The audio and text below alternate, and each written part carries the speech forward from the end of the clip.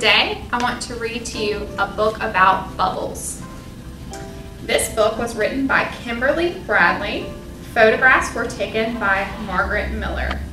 This book is called Pop, a book about bubbles. Dip the plastic wand into the soap solution.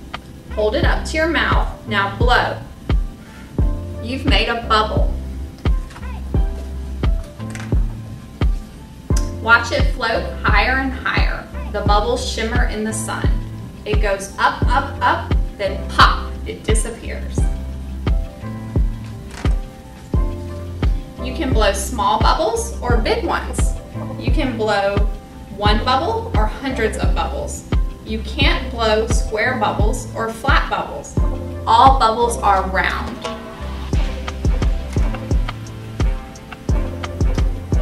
Bubbles are air trapped inside liquid. The liquid you put your bubble wand into is made of water and soap. Sometimes it has a little corn syrup too. It is sticky. It sticks to the floor if you spill it. It sticks to your fingers when you touch it. And it sticks to the plastic bubble wand. It sticks and it stretches. It stretches across the round hole on the end of the bubble wand.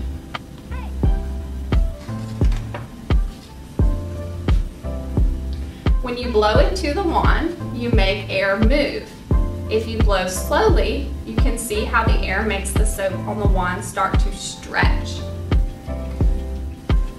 As you blow harder, the soap stretches and stretches until it can't stretch anymore. Finally, it snaps free. The soap shuts around the air inside it. There it is, a bubble.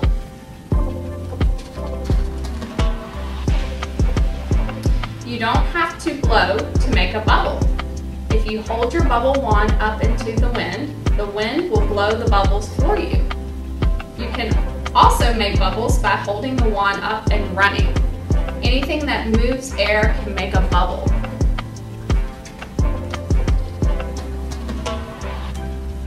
If a bubble touches something like your hand or another bubble, it may have a flat side or the wind may push a bubble and change its shape.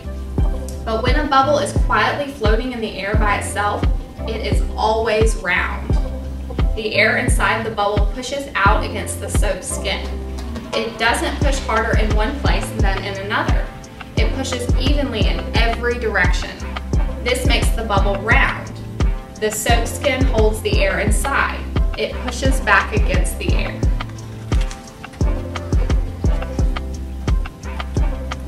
Your hands are dry and you touch bubbles, they pop. Anything that pokes them makes a hole in the soap skin. Whoosh, the air inside rushes out. Even if you don't touch bubbles, they still pop. They dry out. Their soap skins shrink. Soon they can't hold all the air inside them and pop. There are other kind of bubbles too. The next time you drink soda, look carefully at the bottom of the glass. You will see tiny bubbles forming. You can watch them get bigger and bigger. Finally, they get so big that they start to float up through the soda, higher and higher, then pop. You can also make bubbles with a straw. Put one end of the straw in a glass of water or juice and blow. Bubbles float up through the liquid and pop. Water and juice aren't sticky like soap solution, so the bubbles pop right away.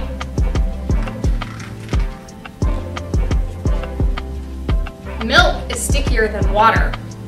If you blow bubbles with a straw in a glass of milk, they will stay at the top of the glass for a while. They won't float through the air like soap bubbles.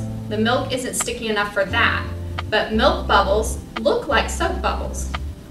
Wherever they aren't touching the glass or each other, they will be round. You can make tiny, tiny bubbles. You can make bubbles big enough to step inside. You can blow one bubble or a whole stream of bubbles. But you can't make square bubbles. Bubbles are always round. Bubble, bubble, written and illustrated by Mercer Mayer. One day as I was walking, I bumped into a bubble. It wasn't just one bubble, but lots of bubbles. Oh look, he's peeking over the fence. I wonder what he sees. And they weren't just any kind of bubbles. They were magic bubbles. Oh look, a salesman selling magic bubbles, 25 cents. So I bought a magic bubble maker and said goodbye. Oh, off he goes. I Wonder what he's gonna do with his magic bubbles. I started blowing bubbles, magic bubbles. Ah, look what is happening to our bubbles. Oh my goodness, it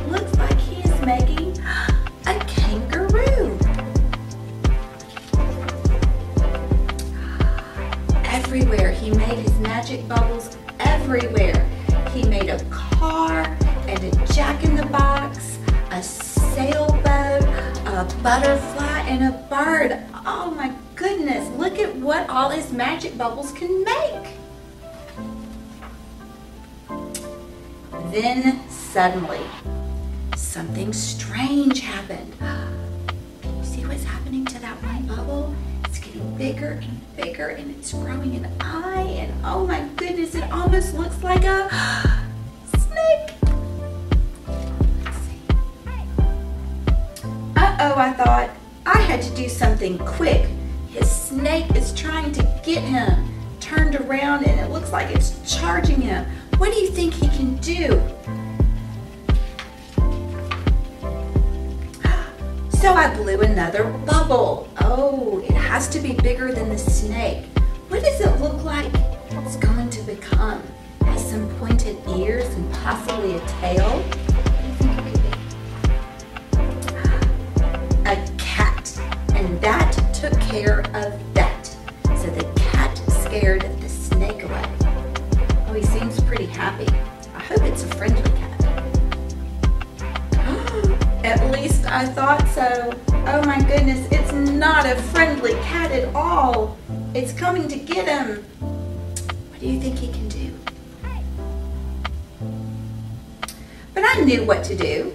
I blew some more bubbles. And these bubbles are turning into something larger than the cat. It looks like it has a trunk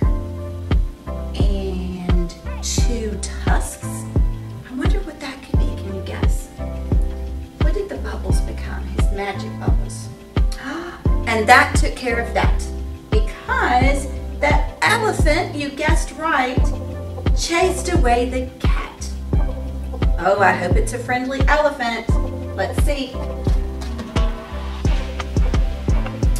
I wasn't worried one small bit because it looks like the elephant's coming after him too. Now the elephant looks very angry. What do you think he's gonna blow now? Elephants afraid of? Let's see. I just blew another bubble and that took care of that. What are elephants afraid of? What bubble did he blow? He needed a magic bubble that turned into a mouse. Good job. I popped all the bubbles one by one. Pop, pop, pop, Blowing bubbles make me tired, so I went home. Oh, he threw away the rest of his magic bubbles. Anyway, everyone knows there's no such thing as magic bubbles. Oh, but look, when he poured out the last of his bubbles, it made a sea dragon who looks very sad that his friend is going away. The end. So, we just read two books about bubbles. First, I read you Pop, a book about bubbles, which was fun, but this just gave us information about how to make bubbles, and it told us that bubbles are always round. What did you read, Miss Carol?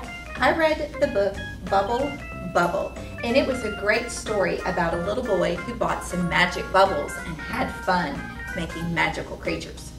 So our books were both about bubbles, but they were very different. My book said bubbles are always round. Were they always round in your book? No. If you remember, he made a boat and a car, and then he made a snake that chased him, and he made an elephant and a little tiny mouse at the end. So his bubbles were not always round. Hmm. Okay, so we're gonna try to figure this out. We're gonna try this here, but you can try this at home too. We're gonna make some bubbles, and we're gonna see if our bubbles are always round, or if we can make bubbles that are different shapes.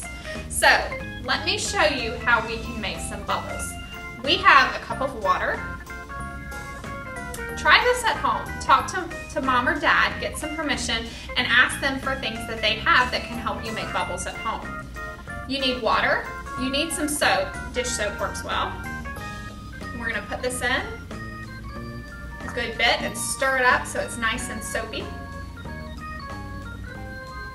Do you think that's enough? Uh, I think a little bit more. Maybe a little bit more.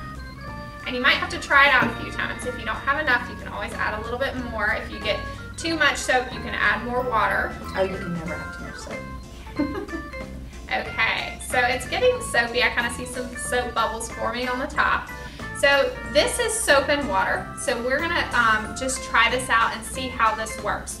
Um, you may have a wand like they used in my story. She had a wand that she used to blow bubbles that's made out of plastic. Um, we don't have that here, so we just got some pipe cleaners and we are going to make a wand to blow bubbles. And so you can take your pipe cleaner and you can just um, bend it to where you have a little circle on the end. Okay. This looks pretty easy. Twist it. Okay. So it stays together in a little circle. And then I have a little bubble wand. And so you want to try it out for me and see if you can blow us a bubble? Sure. We'll make a mess in here with our bubble. You may want to do this outside because bubbles get sticky. The soap and water, it's easy to clean up. It's, it's All right, let's see if I can blow a bubble. Oh, looks pretty good. Let's see on there. Okay, she's got some bubbles. Oh, that's a big bubble. Okay, good job. Those were impressive bubbles. Okay, so we can make our bubbles even a little more impressive by adding something to it that will make it more sticky. Because they Um, popped really quick. Those I want to see the bubbles hang around for a little bit. Yeah, and so to make them stick around, we need something sticky. In our book, it suggested using some corn syrup, which is great. Um, you may have it in your kitchen. I have some corn syrup at home, but unfortunately, we don't have any here. So what we decided to use was glue. Glue Oh. sticky, right? Yes, glue's very sticky. Okay. So I'm gonna put a little glue in my solution. And glue, glue will go in there and dissolve real good. Let's see. Okay. to mix it up. Makes it a little cloudy, but that's okay. Mm. All right, let's test this out and see if we can make our bubbles hang around a little bit longer. I'm excited.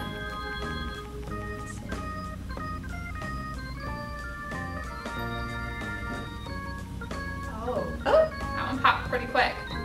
I think that was technical error on my part. Let's see. That's a good bubble. Oh! Landed on you.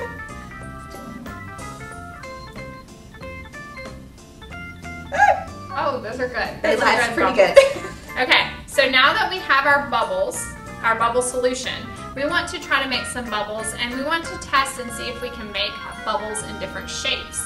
So we made some different wands here for you. The same way we made our circle, we just shaped them differently.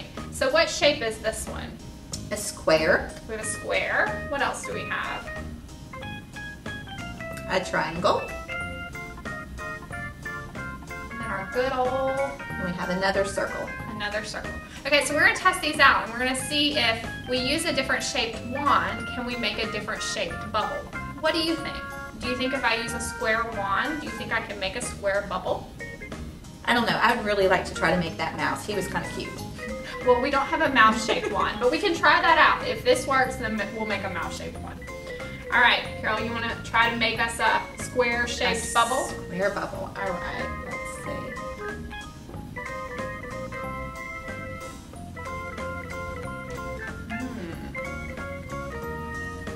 Wow. Is that a square? no, that was definitely a circle. big That was really cool. That was good. Okay, let's try a triangle. Do you think it'll make a triangle bubble? I don't know. We didn't have a lot of success with the square, but I'm hopeful. This one is really pretty in pink. That's a good bubble too. Our glue worked. Our glue, that's what It looked like it was trying to make a circle, but let's see if we can get one that'll stand.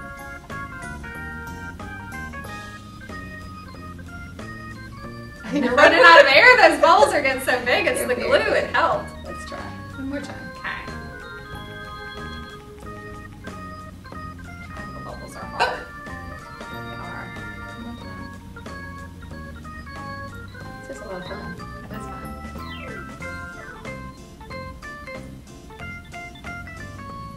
That's a big circle. It never came off, but that was definitely a circle. Okay.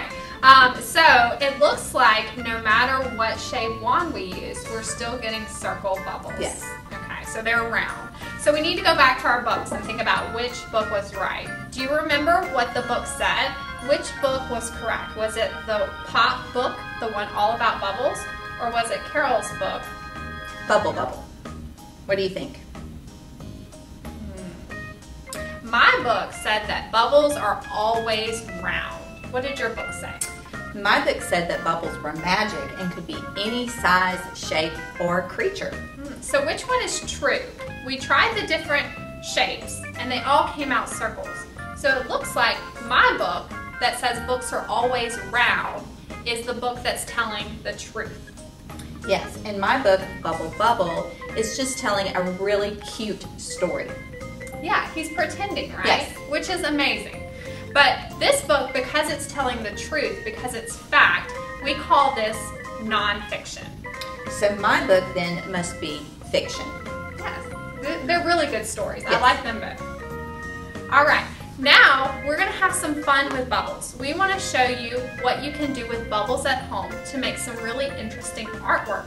You wanna help me with that? Yes, because I had fun with this. I know I'm going to have fun making some art. Okay, let's set this up. Okay, are you ready to make some art? Yes, I'm excited. Okay, so what we've done is we just got our bubble solution that we made and we added more soap and a little bit more glue and a little bit more water and we just made a big batch of bubble solution. We added it to our four plates here and then we just added different food coloring. So we have all different colors of a bubble solution. And so what we're gonna do is we're going to blow bubbles onto this paper that we've laid out and see if we can make some fun bubble art. Okay.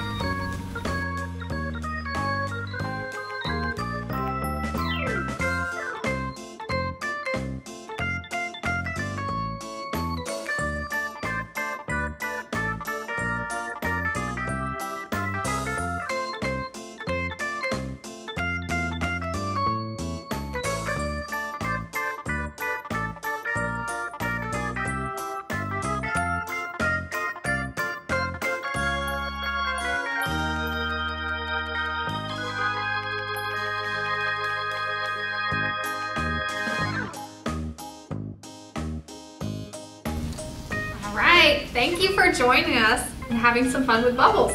I hope you have a chance to do this with your family because it's a lot of fun.